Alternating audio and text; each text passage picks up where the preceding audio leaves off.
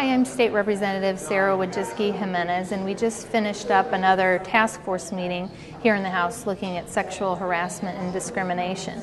Today's guests included um, some folks from the governor's office as well as the Department of Human Rights. And part of what we're continuing to try to learn is what are the current processes. And we've mainly looked at the executive branch so far and kind of learning about what their complaint intake is, how long it takes for victims. One of the things that uh, we learned, and I'm going to try to get this information posted up on the website, is the number of complaints that come in through the Human Rights Department. And, you know, those can vary from sexual discrimination to housing to race issues, how those are handled at the department, and then they actually, after that, can go on to a commission process.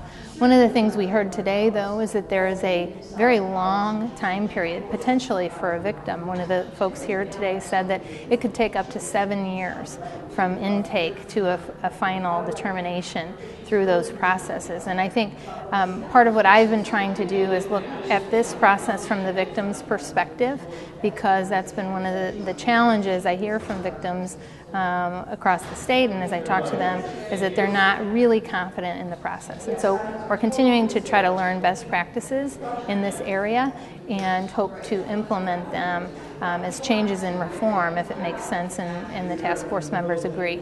So we're going to be having another task force meeting come up probably in the next couple of weeks while we're in Springfield and we'll keep you posted on uh, those happenings.